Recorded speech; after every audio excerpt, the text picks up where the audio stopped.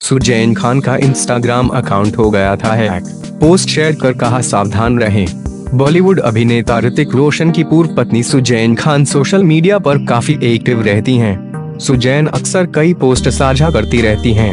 कभी वो अपने बच्चों की तस्वीर साझा करती हैं, तो कभी काम से जुड़ी कुछ बातें अपने फैंस के साथ साझा करती रहती हैं।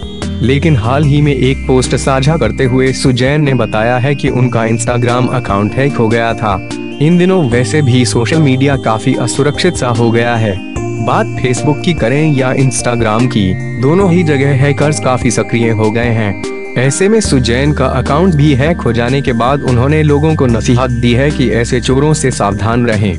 हालाँकि सुजैन का अकाउंट अब वापस उनके संचालन में आ गया है। आगे सुजैन लिखती हैं, स्थिति को जल्दी ठीक करने और कम से कम वक्त में मुझे मेरा अकाउंट वापस दिलाने में मदद करने के लिए इंस्टाग्राम टीम आपका बहुत धन्यवाद।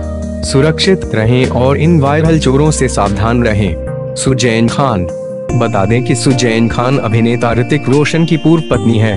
दोनों ने साल साल 2014 में एक दूसरे से आपसी सहमति के साथ तलाक ले लिया था। दोनों के दो बच्चे रिदान और रिहान भी हैं जो अपने पिता ऋतिक रोशन के साथ रहते हैं वहीं लॉकडाउन के समय में अपने दोनों बच्चों की खातिर सुजैन ऋतिक के घर में ही शिफ्ट होगी, जिसे लेकर भी ये कयास लगाए जा रहे थे कि शायद दोनों एक बार फिर से एक साथ हो गए हैं लेकिन बाद में उन्होंने बताया कि वो केवल लॉकडाउन की वजह से यहाँ आई हैं।